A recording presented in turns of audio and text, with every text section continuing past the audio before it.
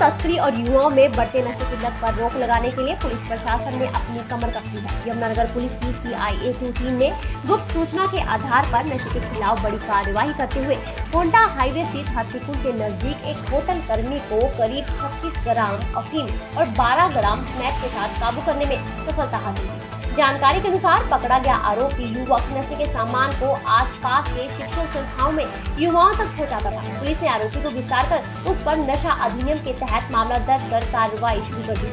Police पकड़े गए आरोपी को जल्द कोर्ट में पेश कर रिमांड पर लेगी ताकि नशे संबंधी और मामलों का खुलासा हो सके।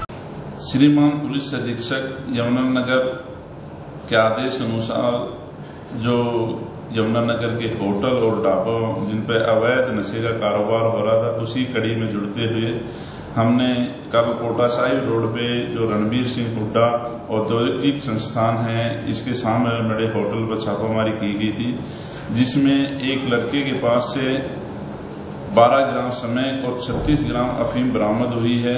उसने अपनी पूछताछ में बताया कि इस होटल का मालिक सतीश जो चांदपुर का रहने वाला है, वो यहाँ ला करके हमारे से सप्लाई करवाता है। ये लड़का वहाँ पर पाँच हज़ार रुपये में नौकरी करता था। हाँ ये पूछताछ में सामने आया और हमें गुप्त सूचनाएँ मिल रही थी कि ये होटल वाले ट्रकों वालों को और वहाँ पॉलिटेक्निकल में पढ़ने वाले युवाओं को नशे की तरफ़ धकेल रहे हैं वहाँ भी सप्लाई होती थी। इसी आधार पे हमने ये छापामारी की गई है और आगे भी श्रीमान पुलिस अधीक्षक के आदेश अनुसार एक विशेष अभियान चलाया गया है। इस नशे के खिलाफ ये निरंतर कार्रवाई जारी रहेगी। बिल्कुल इसे यही पूछताछ की जाएगी कि ये कहाँ से भारी मात्रा में सामान सप्लाई हो रहा है, क्योंकि हमारे ज़िले के नज़दीक यूपी लगती है।